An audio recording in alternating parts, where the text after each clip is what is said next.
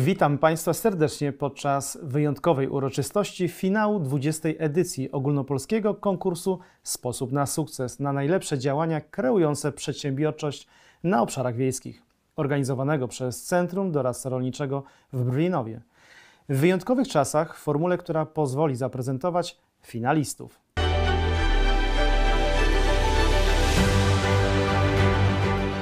Oto zwycięzcy 20. edycji konkursu, dzięki którym oglądamy wydarzenie finału.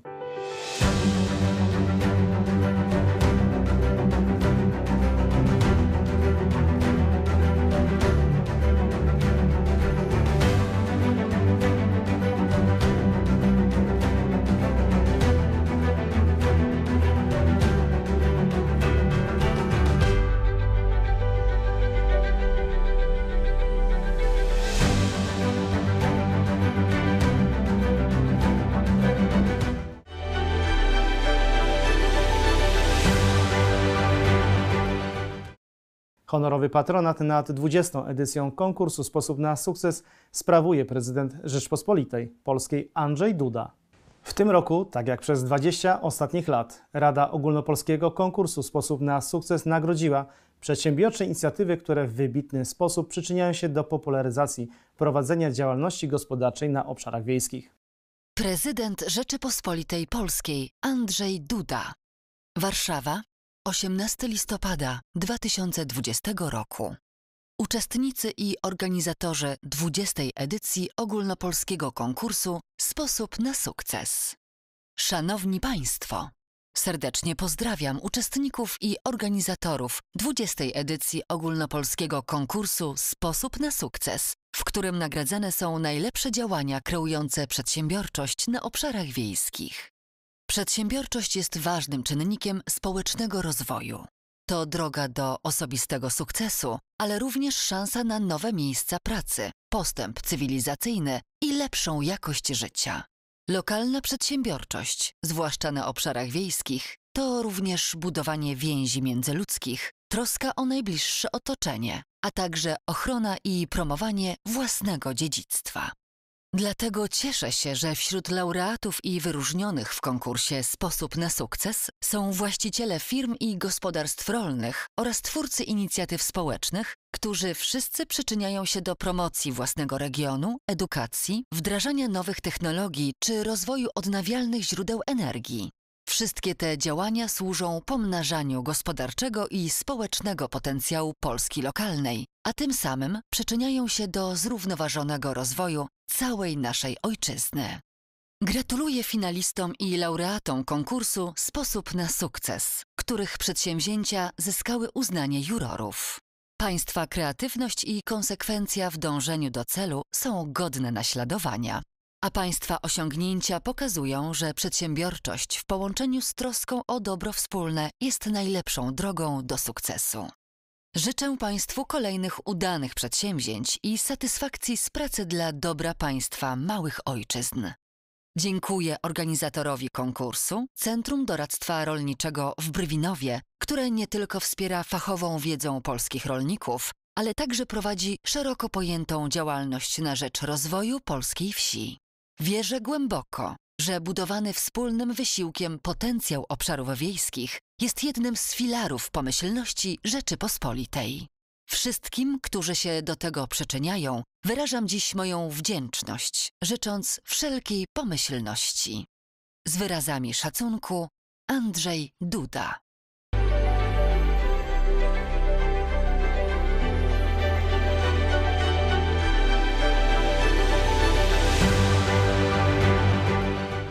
Poproszę o zabranie głosu ministra rolnictwa i rozwoju wsi, pana Grzegorza Pudę.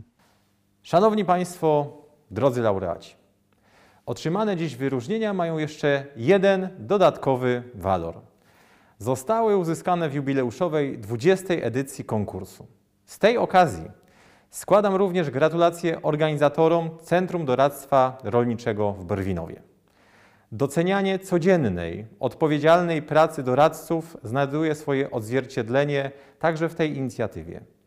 Każdy konkurs, każde wyróżnienie są istotne nie tylko ze względu na zwrócenie uwagi na ważne tematy, ale przede wszystkim na pomysły i zaangażowanie ludzi, ich sukces, na docenianie wysiłków. Szanowni laureaci, to właśnie Wy znaleźliście sposób na sukces. Dzięki własnym pomysłom, ciężkiej pracy, wiedzy i umiejętnościom osiągnęliście powodzenie w prowadzonej działalności, a także uznanie innych. Wasz sukces to również sukces miejsca, w którym żyjecie. Dzięki podejmowanym przez Was inicjatywom rozwija się również najbliższe otoczenie, a uhonorowanie sukcesu to jednocześnie zachęta dla innych. Dobry przykład zawsze znajduje swoich kontynuatorów. Rodzą się nowe pomysły, nowe działania, nowe możliwości, nowe inspiracje. Dzięki temu następuje postęp, wzrastają możliwości rozwoju i poprawia się jakość życia na obszarach wiejskich.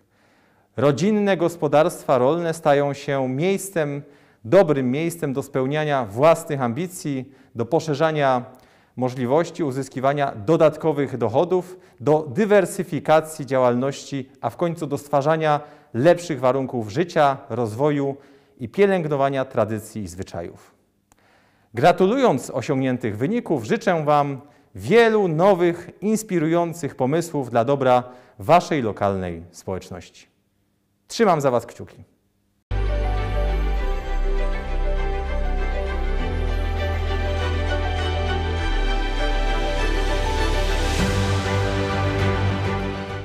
A teraz poproszę o zabranie głosu dyrektora Centrum Doradztwa Rolniczego w Brywinowie, pana Ireneusza Drozdowskiego. Dwudziestolecie konkursu Sposób na sukces, organizowanego przez Centrum Doradztwa Rolniczego w Brywinowie, cieszy i zobowiązuje. Kolejny raz honorowy patronat nad 20. edycją konkursu Sposobu na sukces sprawuje prezydent Rzeczypospolitej Polskiej, pan Andrzej Duda. Podstawową ideą konkursu, wciąż ważną i aktualną, jest promocja przedsiębiorczości oraz inicjatyw gospodarczych na obszarach wiejskich. Szczególny nacisk kładziemy na innowacyjność przedsięwzięć, promocję włączenia społecznego i zmniejszenia ubóstwa, tworzenie nowych miejsc pracy, a także efektywne wykorzystanie środków finansowych pozyskiwanych w ramach Programu Rozwoju Obszarów Wiejskich. Popieramy również działania prośrodowiskowe oraz transfer wiedzy z nauki do praktyki. Kolejne edycje pokazują, jak działalność lokalnych podmiotów wpływa korzystnie na wielofunkcyjny rozwój wsi, w tym aktywizację społeczności oraz tworzenie nowych miejsc pracy. Konkretne przykłady motywują do działania i przekonują, że nawet w trudnych warunkach można osiągnąć sukces. Przez 20 lat konkursu nagrodziliśmy 315 liderów lub kreatorów przedsiębiorczych inicjatyw na obszarach wiejskich. Jako dyrektor Centrum Doradztwa Rolniczego w Brwinowie jestem niezmiernie dumny z naszych laureatów, z podejmowanych przez nich inicjatyw, z ich kreatywności i wytrwałości. Odczuwam ogromną satysfakcję, że podjęte przed 20 laty wyzwanie przynosi tak pozytywne skutki. W tym roku Rada Konkursu wyłoniła finalistów w trzech kategoriach: indywidualnej, rodzinnej oraz inicjatyw społecznych. 15 liderów przedsiębiorczości z nowymi pomysłami, twórczym sposobem na życie to już nowe pokolenie uczestników naszego konkursu.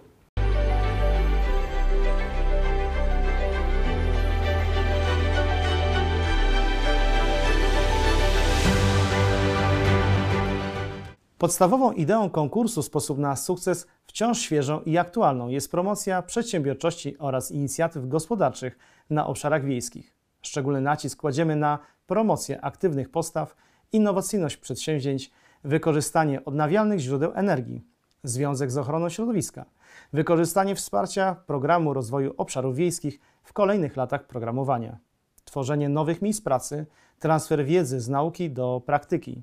Laureaci i wyróżnieni w konkursie, realizując swoje przedsięwzięcia, przyczyniają się do rozwoju lokalnych społeczności i są jednocześnie wzorcowym przykładem wykorzystania zewnętrznych źródeł finansowania, w tym z Programu Rozwoju Obszarów Wiejskich na lata 2014-2020. Dzięki organizacji ogólnopolskiego konkursu Sposób na sukces na przestrzeni 20 lat spośród 1024 zgłoszonych przedsięwzięć wyłoniono 266 laureatów i 49 wyróżnionych. Konkurs to efekt wspólnych działań centrum oraz wielu partnerów i współorganizatorów. Nasi partnerzy to Kancelaria Prezydenta Rzeczpospolitej Polskiej, Ministerstwo Rolnictwa i Rozwoju Wsi, BNP Paribas Bank Polska SA, Warszawski Rolno-Spożywczy Rynek Hurtowy SA w Broniszach, największe w Polsce centrum dystrybucji świeżych owoców, warzyw i kwiatów. Agencja Restrukturyzacji i Modernizacji Rolnictwa, Instytut Hodowli i Aklimatyzacji Roślin w Radzikowie, Europejski Fundusz Rozwoju Wsi Polskiej, firma Agrobroker, Ubezpieczenia, Doradztwo, Szkolenia, Towarzystwo Inicjatyw Społecznych Nowy Świat, Towarzystwo Ubezpieczeń Wzajemnych TUF, Stowarzyszenie Sposób na Sukces. Nasi współorganizatorzy to ośrodki doradztwa rolniczego.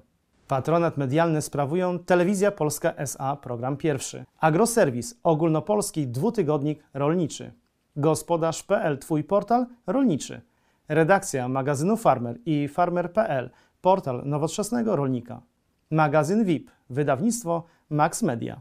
Przedsięwzięcia zgłoszone do konkursu oceniła Rada Konkursu, utworzona z przedstawicieli organizatorów, partnerów i partnerów medialnych. W 20. edycji wyłoniono finalistów w następujących kategoriach. W kategorii indywidualnej 5 podmiotów, w kategorii rodzinnej 5 podmiotów, w kategorii inicjatywy społeczne 2 podmioty. Wyróżniono również 3 podmioty jako szczególny wyraz uznania Rady Konkursu dla ich działalności. W tym roku finaliści otrzymali nagrody, statuetki i listy gratulacyjne oraz dyplomy. Wszystko to za pośrednictwem kuriera. 12 laureatów 20. edycji konkursu otrzymało listy gratulacyjne podpisane przez prezydenta Rzeczypospolitej Polskiej Andrzeja Dudę. Nagrody rzeczowe, a i roboty od ministra rolnictwa i rozwoju wsi oraz dyrektora Centrum Doradztwa Rolniczego w Brwinowie. Dyplomy od ministra rolnictwa i rozwoju wsi oraz dyrektora Centrum Doradztwa Rolniczego w Brwinowie. Statuetki od ministra rolnictwa i rozwoju wsi oraz dyrektora Centrum Doradztwa Rolniczego w Brwinowie. Broszurę 20. edycji ogólnopolskiego konkursu Sposób na sukces Przedsiębiorczość na obszarach wiejskich przygotowaną przez Centrum Doradztwa Rolniczego. Trzech wyróżnionych w 20. edycji konkursu otrzymało listy gratulacyjne podpisane przez prezydenta Rzeczpospolitej Polskiej Andrzeja Dudę, dyplomy od ministra rolnictwa i rozwoju wsi oraz dyrektora Centrum Doradztwa Rolniczego w Brwinowie. Statuetki od ministra rolnictwa i rozwoju wsi oraz dyrektora Centrum Doradztwa Rolniczego w Brwinowie. Broszurę 20. edycji ogólnopolskiego konkursu Sposób na sukces. Przedsiębiorczość na obszarach wiejskich przygotowaną przez Centrum Doradztwa Rolniczego. Oprócz nagród ufundowanych przez organizatorów, finaliści zostali dodatkowo uhonorowani przez urzędy marszałkowskie, urzędy wojewódzkie lub urzędy gmin, o czym będziemy informować w dalszej części relacji. Szanowni Państwo, prezentujemy Państwu finalistów konkursu w poszczególnych kategoriach. Laureaci w kategorii indywidualnej przyznano dwa pierwsze oraz dwa drugie miejsca ex aequo. Pierwsze miejsce w kategorii indywidualnej dla pani Darii Kosińskiej, właścicielki przetwórni Sery Kosińscy w Siedlnicy, powiat wschowski, województwo lubuskie.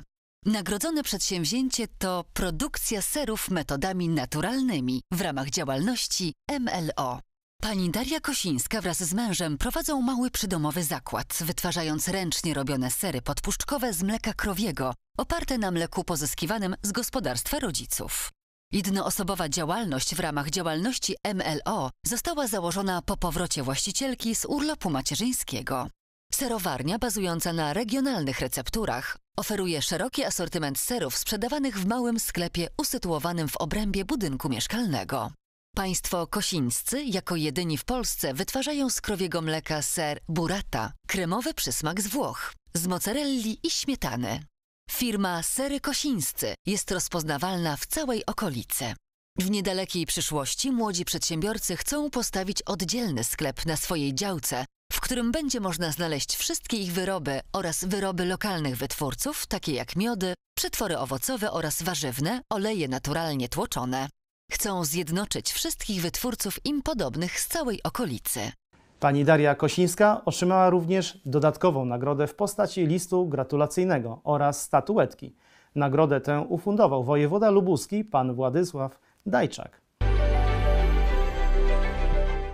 Pierwsze miejsce w kategorii indywidualnej dla pani Magdaleny Ileckiej, właścicielki firmy Wyspa Młodych Kolumbów w Osięcinach. Powiat Radziejowski, województwo kujawsko-pomorskie.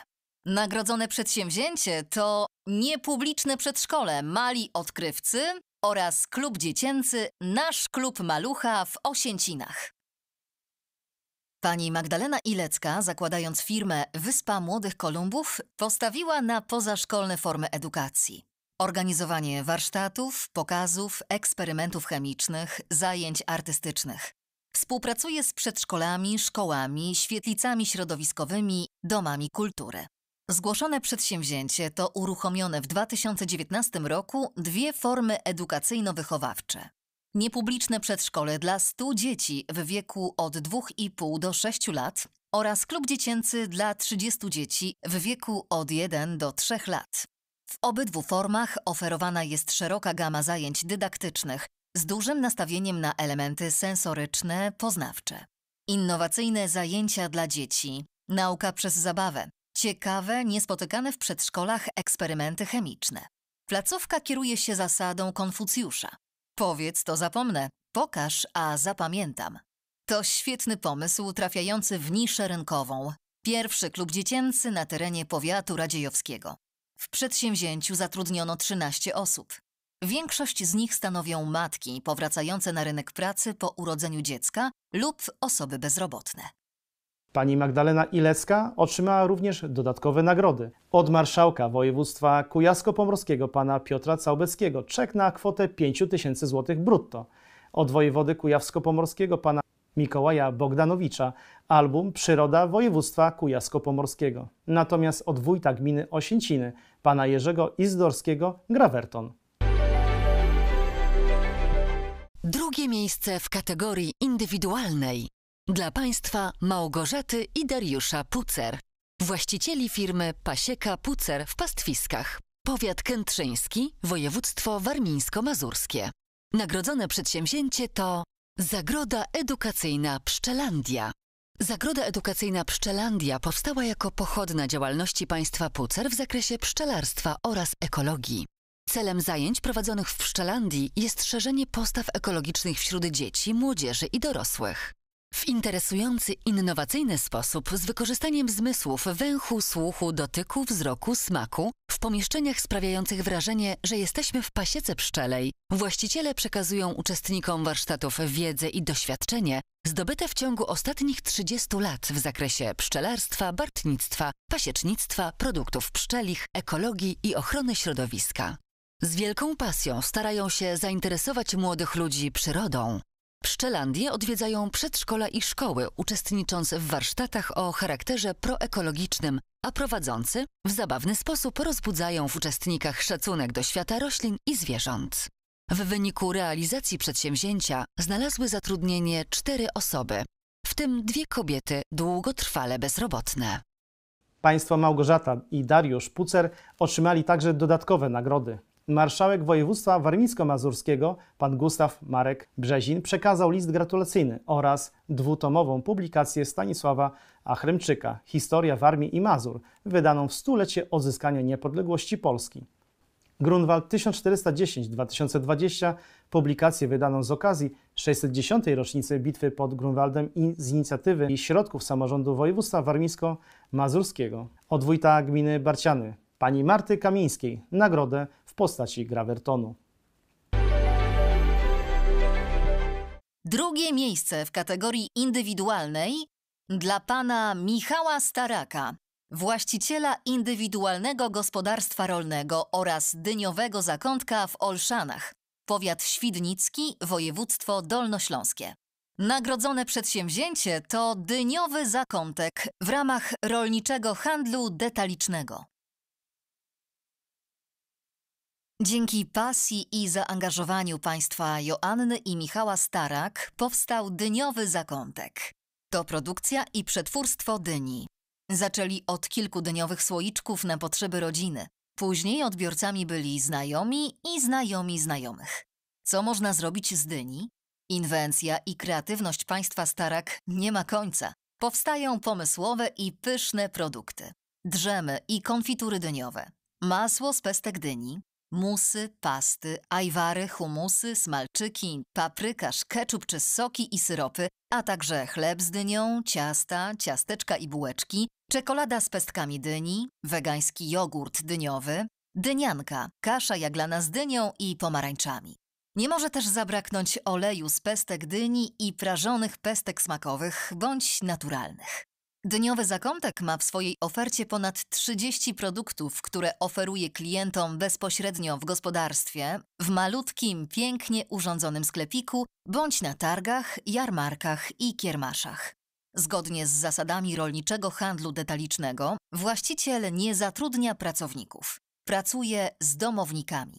Dyniowy zakątek został dodatkowo uhonorowany przez władze województwa i gminy.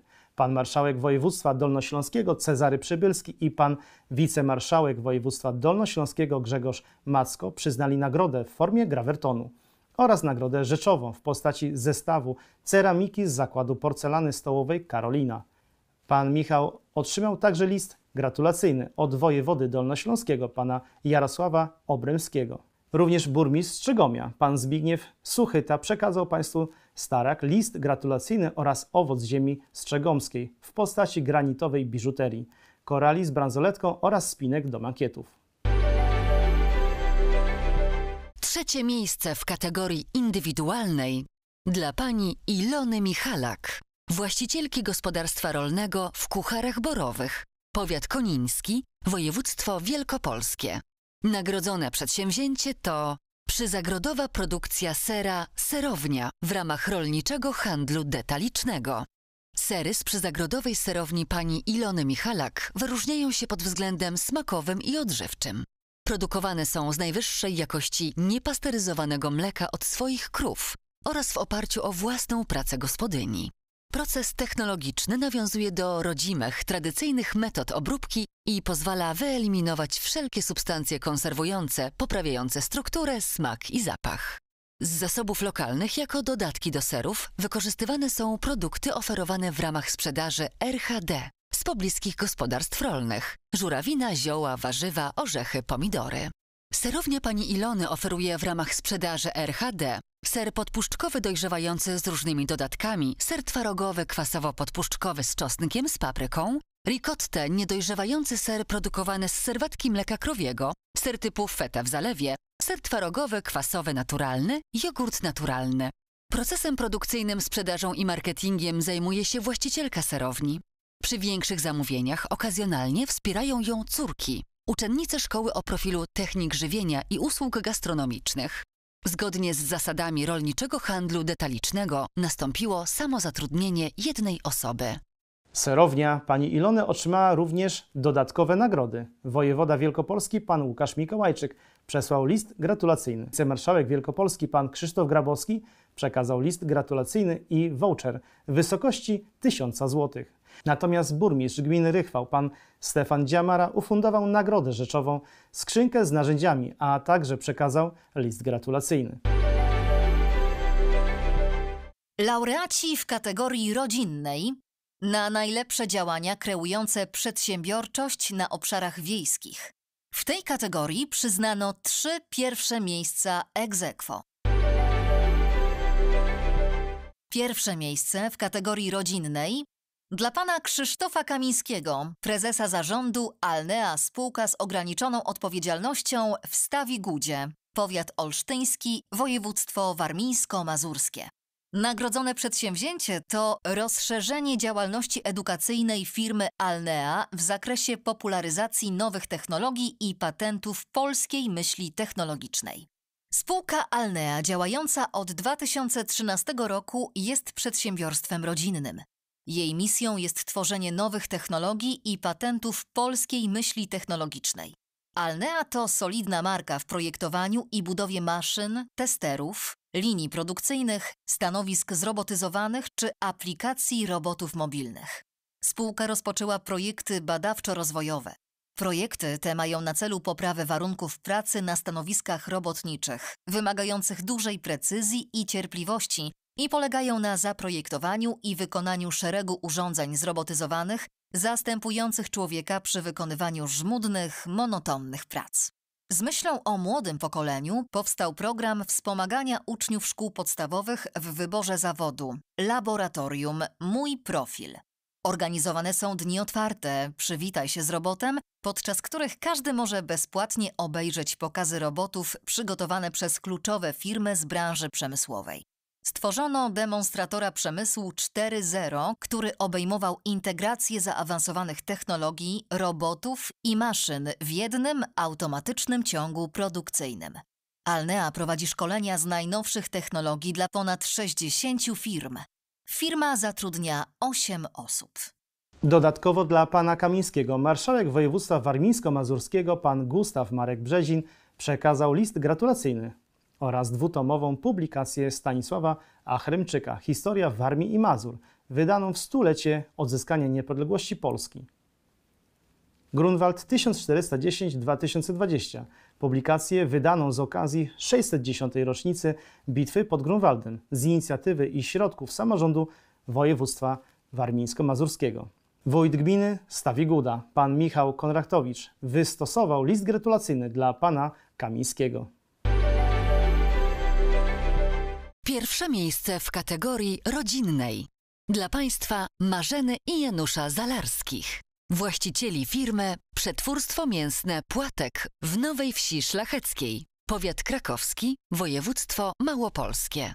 Nagrodzone przedsięwzięcie to uruchomienie produkcji z wykorzystaniem nowo powstałej infrastruktury z budynkiem produkcyjnym wyposażonej w nowoczesne maszyny masarskie.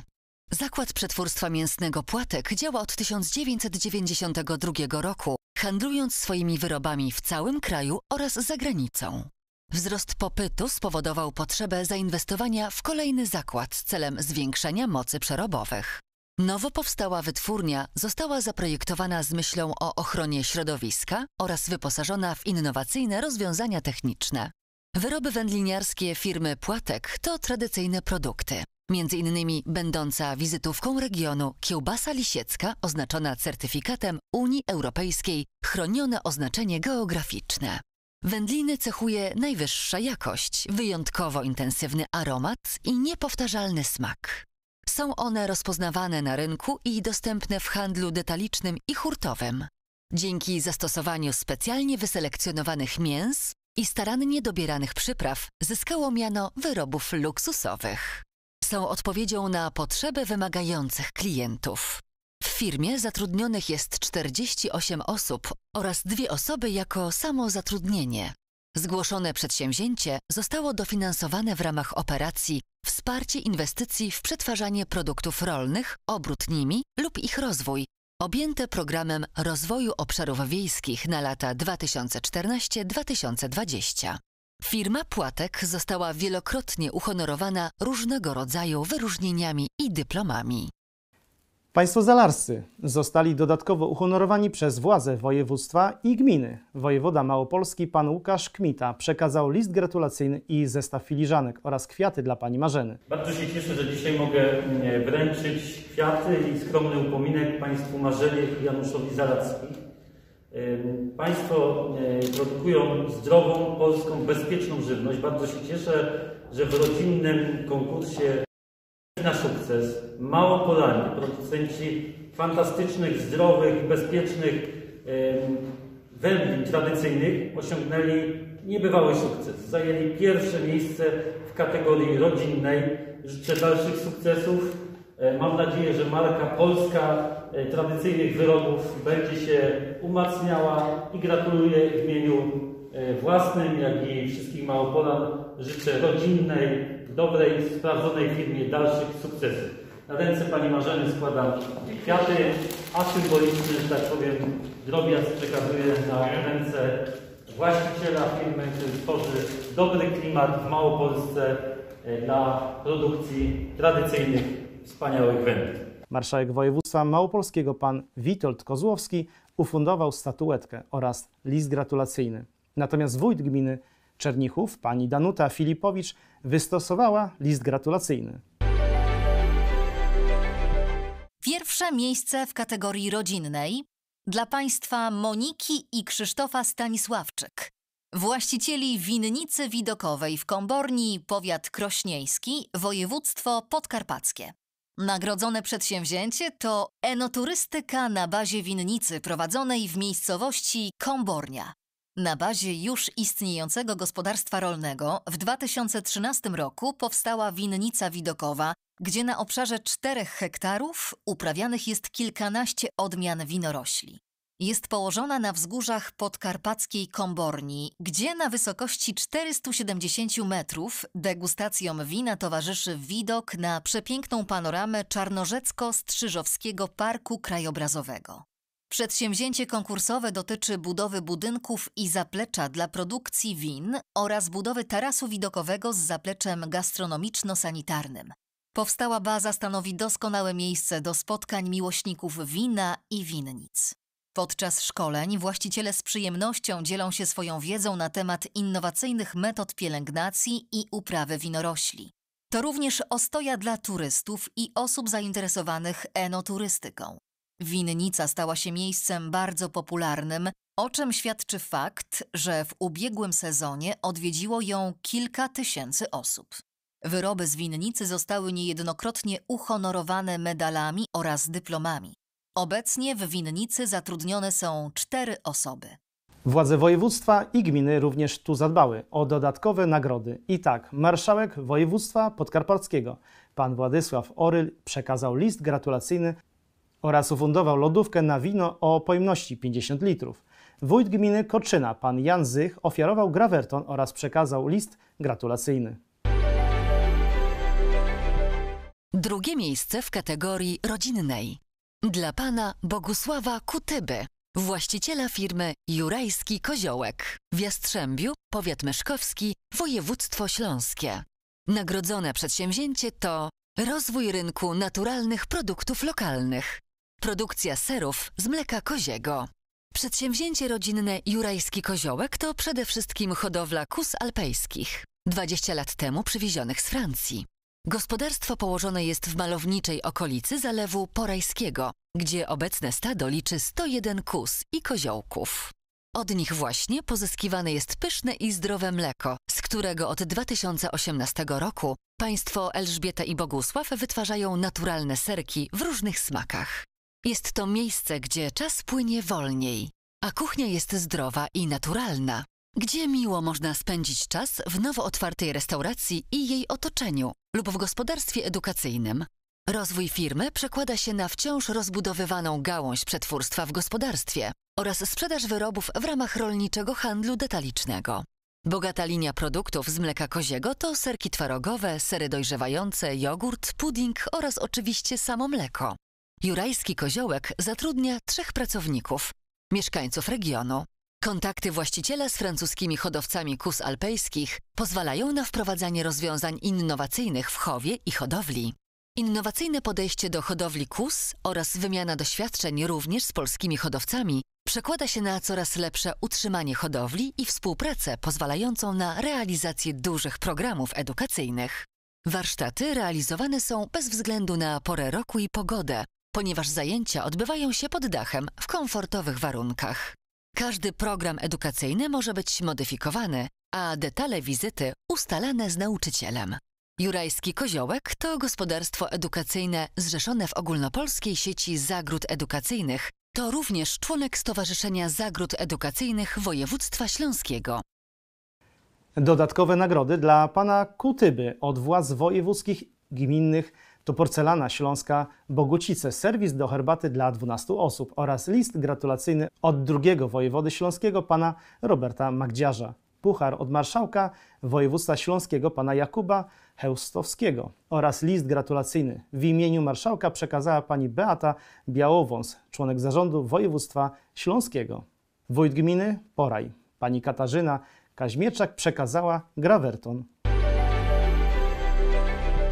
Trzecie miejsce w kategorii rodzinnej dla pana Łukasza Paczewskiego, właściciela firmy PPHU Tezi Gabinet Weterynaryjny w Nasielsku, powiat nowodworski, województwo mazowieckie. Nagrodzone przedsięwzięcie to zakup i wdrożenie infrastruktury informatycznej dla rozwoju i optymalizacji procesów B2C oraz uruchomienie nowego procesu wraz ze specjalistyczną e-usługą porady weterynaryjne. Pan Łukasz Paczewski jest z wykształcenia lekarzem weterynarii z dziesięcioletnim stażem pracy. Rozwija firmę rodzinną wspólnie z ojcem Grzegorzem oraz kuzynem Michałem, zatrudniając dodatkowo jedną osobę. Wykorzystując doświadczenie w zakresie leczenia i właściwego żywienia zwierząt, otworzył sklep rolniczo-zoologiczny, oferując wysokiej jakości pasze, koncentraty, nasiona roślin, nawozy, karmy zoologiczne oraz inne artykuły potrzebne do produkcji zwierzęcej i roślinnej. Dzięki połączeniu umiejętności trojga ludzi z pasją powstał sklep internetowy prima-vera.pl, oferujący szeroką gamę produktów dla zwierząt, w tym zarówno akcesoria i karmę dla psów i kotów, jak również asortyment dedykowany dla koni, ryb, gryzoni, ptaków oraz artykuły dla opiekunów zwierząt. Innowacyjność przedsięwzięcia polega na wykorzystaniu środków elektronicznych do zawierania transakcji pomiędzy sprzedawcą a klientem indywidualnym wraz ze specjalistyczną e-usługą, poradą od lekarza weterynarii. Możliwość czatu z lekarzem weterynarii wprowadza zupełnie nowy proces świadczenia doradztwa żywieniowego dla opiekunów zwierząt. Pan Łukasz otrzymał także dodatkowe nagrody. Marszałek województwa mazowieckiego pan Adam Struzik ofiarował puchar, list gratulacyjny i zestaw upominków. Wojewoda mazowiecki pan Konstanty Radziwił ufundował grawerton. Zastępca burmistrza gminy Nasielsk, pan Andrzej Kordulewski, przekazał list gratulacyjny oraz wpinkę okazjonalną. Laureaci w kategorii Inicjatywy Społeczne na najlepsze działania kreujące przedsiębiorczość na obszarach wiejskich. Pierwsze miejsce w kategorii Inicjatywy Społeczne dla księdza Dariusza Radywaniuka, dyrektora Domu Pielgrzyma w Pratulinie, powiat bialski, województwo lubelskie. Nagrodzone przedsięwzięcie to otwarcie Domu Pielgrzyma imienia Jana i Dory Fedoruk w Pratulinie. Sanktuarium Męczenników Podlaskich w Pratulinie istnieje od 1996 roku, kiedy to papież Jan Paweł II beatyfikował 13 unitów, którzy w 1874 roku ponieśli śmierć z rąk carskich żołnierzy przed świątynią, skonfiskowaną przez zaborcę na rzecz prawosławia. Dom pielgrzyma imienia Jana i Dory Fedoruk w Pratolinie jest odpowiedzią na potrzebę sugerowaną przez pielgrzymów i turystów, którym brakowało takiego miejsca przy sanktuarium. Z szacunków wynika, że corocznie Pratulin odwiedza 47 tysięcy pielgrzymów i turystów z kraju i zagranicy. Budowa domu pielgrzyma trwała od roku 2016 do 2019. Powstał obiekt nowoczesny, komfortowo wyposażony, o klimatyzowanych, przytulnych wnętrzach z łazienkami, mogących pomieścić ponad 100 gości. Przedsięwzięcie wygenerowało 8 miejsc pracy dla pań długotrwale bezrobotnych oraz powracających na rynek pracy po urlopach wychowawczych oraz dla konserwatora. W okresie turystycznym zatrudnionych jest jeszcze dodatkowo 7 lub więcej osób na umowę zlecenie. Brak zaplecza socjalnego dla odwiedzających parafię licznych gości przyczyniał się do zastoju rozwoju lokalnego. Teraz parafianie także przystąpili do działania. Dzisiaj okoliczni rolnicy na bieżąco zaopatrują kuchnię domu pielgrzyma w zdrową, ekologiczną żywność.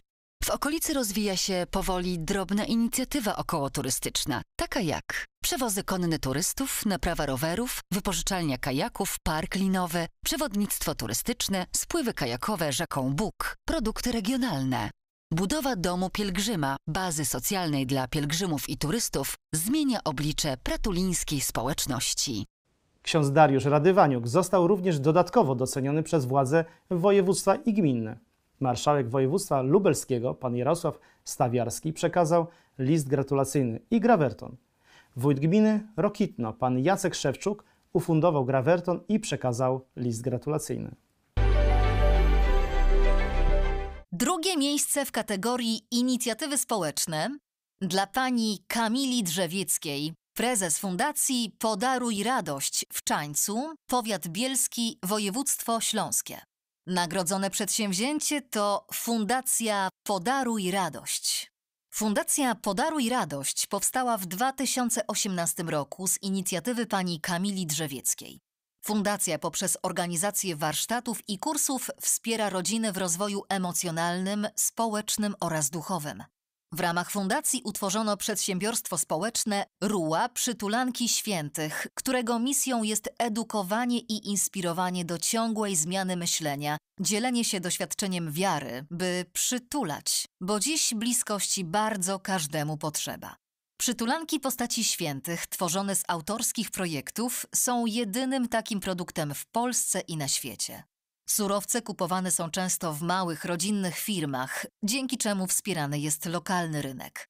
Przytulanki można personalizować oraz dodać jej życiorys danej postaci w wybranym języku. Produkty są ekskluzywne, są oryginalnym pomysłem na prezent z okazji Chrztu Świętego, pierwszej Komunii Świętej czy urodzin. Zatrudnionych jest czterech pracowników, w tym trzy osoby powracające z bezrobocia. Fundacja skorzystała z dofinansowania z regionalnego programu Poddziałanie 931 Wsparcie sektora ekonomii społecznej. Pani Kamila otrzymała nagrody dodatkowe wicewojewody śląskiego pana Jana Chrząszcza w postaci ekspresu do kawy oraz listu gratulacyjnego. Puchar od marszałka województwa śląskiego pana Jakuba Heustowskiego oraz list gratulacyjny w imieniu marszałka przekazała pani Beata Białowąs, członek zarządu województwa śląskiego. Wójta gminy Porąbka pana Pawła Zemanka statuetkę z gratulacjami. Szanowni Państwo, przechodzimy teraz do uhonorowania osób wyróżnionych w konkursie. Wyróżnienie jest szczególnym wyrazem uznania Rady Konkursu dla realizowanych przedsięwzięć.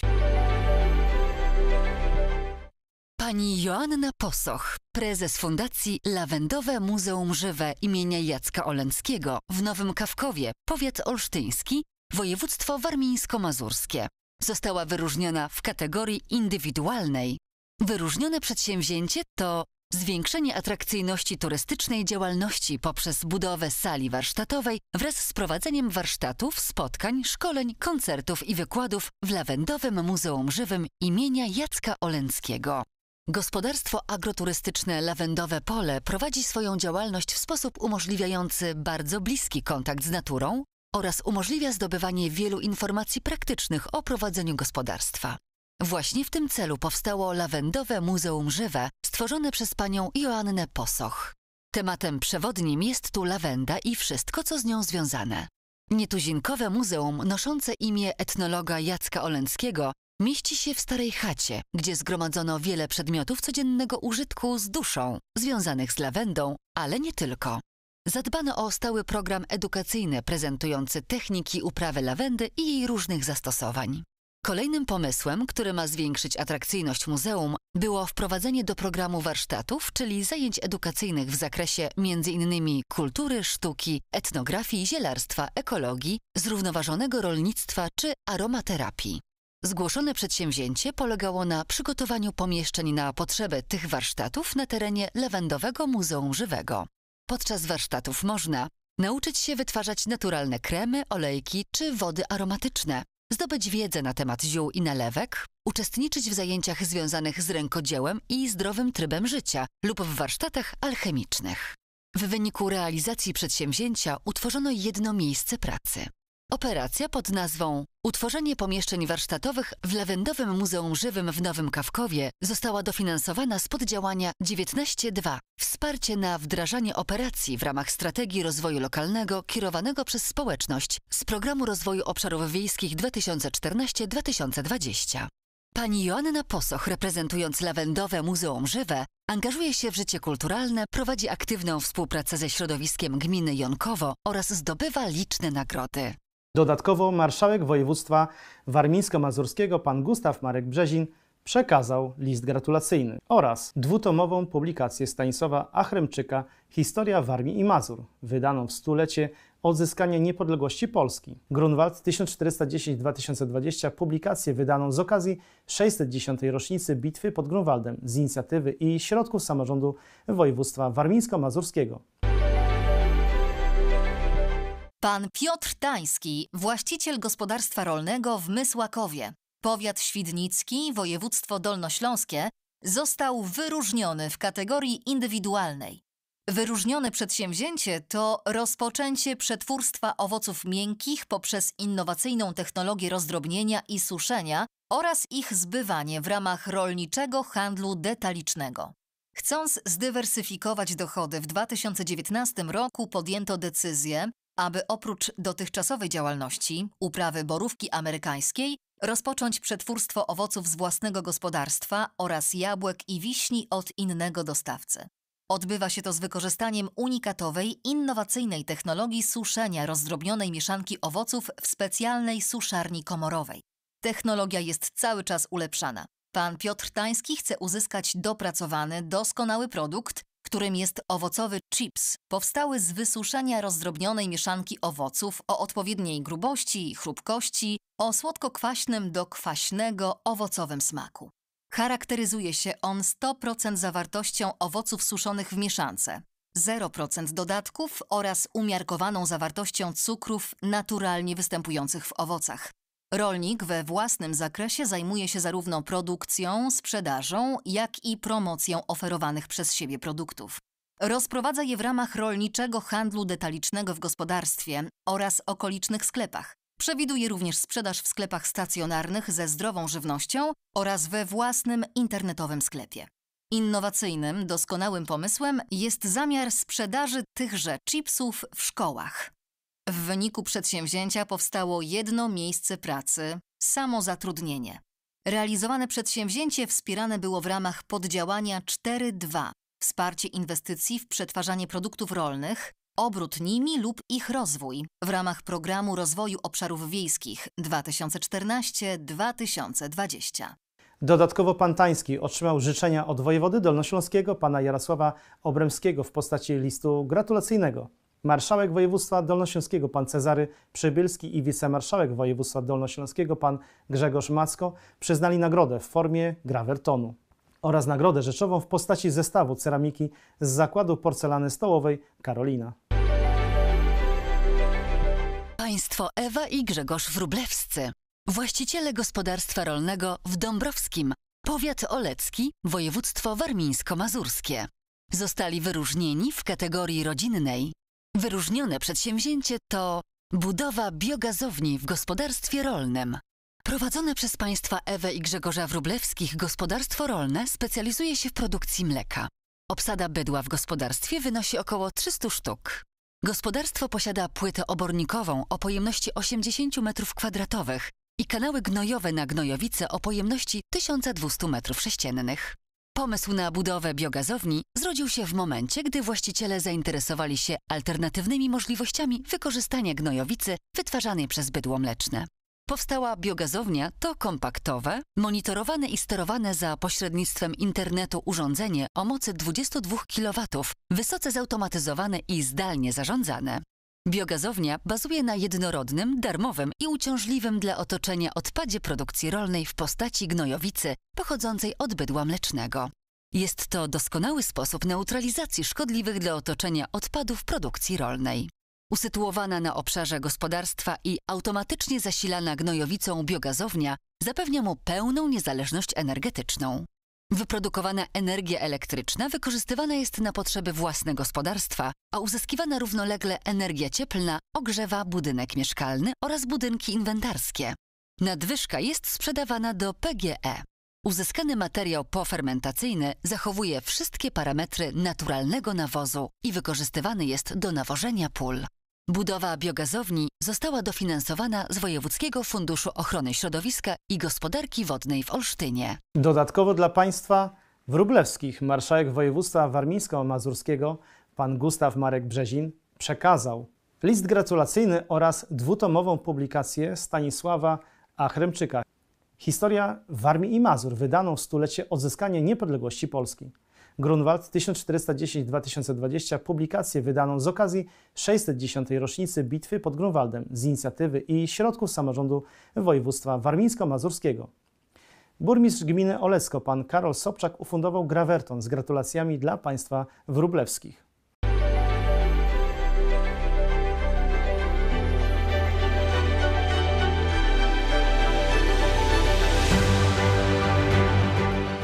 Czas na podziękowania laureatów. Szanowni Państwo, w imieniu wszystkich finalistów i swoim własnym pragnę podziękować i wyrazić wielkie uznanie dla Centrum Doradztwa Rolniczego w Brwinowie jako organizatora konkursu Sposób na Sukces na najlepsze działanie kreujące przedsiębiorczość na obszarach wiejskich. Chcę złożyć podziękowania Radzie Konkursowej oraz wszystkim partnerom konkursu za zaangażowanie, trud i czas poświęcony na przygotowanie i przeprowadzenie tegorocznej jubileuszowej 20. edycji konkursu Sposób na Sukces, która odbywa się w trudnym dla nas wszystkim epidemicznym okresie.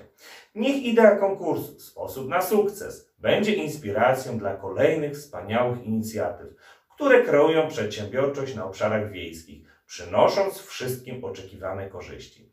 Tym bardziej jesteśmy dumni, że spośród zgłoszonych do konkursu podmiotów to właśnie nasze przedsięwzięcia znalazły się w gronie finalistów. Serdecznie dziękujemy za zaufanie i wybór naszych firm. Dołożymy wszelkich starań, aby nadal być w gronie najlepszych. Wszystkim finalistom konkursu składam szczere gratulacje i życzenia dalszych sukcesów przez wielkie S.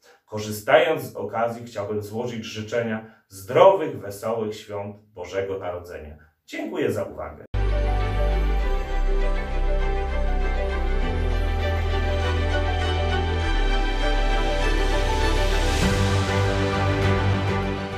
Jeszcze raz bardzo serdecznie gratulujemy finalistom oraz dziękujemy wszystkim organizatorom i instytucjom, dzięki którym realizowane są główne cele konkursu, a więc wspieranie przedsiębiorczości i innowacyjnych rozwiązań na obszarach wiejskich oraz aktywizację zawodową mieszkańców wsi. Szczególne podziękowania składamy na ręce doradców z ośrodków doradztwa rolniczego, którzy poprzez kontakty z przedsiębiorcami na swoim terenie wskazywali tych najlepszych, najbardziej przedsiębiorczych, najbardziej innowacyjnych. Specjalnie dziękujemy również Radzie Konkursu, pracującej społecznie za zaangażowanie, wkład pracy i czas poświęcony ocenie przedsięwzięć. Wszystkim mediom dziękujemy za promocję nagrodzonych działań, partnerom konkursu natomiast dziękujemy bardzo za pomoc merytoryczną i finansową. Pamiętajmy, że bez pomocy wkładu tych instytucji konkurs byłby trudny do zrealizowania. Nasi partnerzy to Kancelaria Prezydenta Rzeczpospolitej Polskiej, Ministerstwo Rolnictwa i Rozwoju Wsi, BNP Paribas Bank Polska SA, Warszawski Rolno-Spożywczy Rynek Hurtowy SA w Broniszach, największe w Polsce centrum dystrybucji świeżych owoców, warzyw i kwiatów. Agencja Restrukturyzacji i Modernizacji Rolnictwa, Instytut Hodowli i Aklimatyzacji Roślin w Radzikowie, Europejski Fundusz Rozwoju Wsi Polskiej, firma Agrobroker, Ubezpieczenia, Doradztwo, Szkolenia, Towarzystwo Inicjatyw Społecznych Nowy Świat, Towarzystwo Ubezpieczeń Wzajemnych TUF, Stowarzyszenie Sposób na Sukces. Nasi współorganizatorzy to ośrodki doradztwa rolniczego. Dziękuję Państwu za uwagę.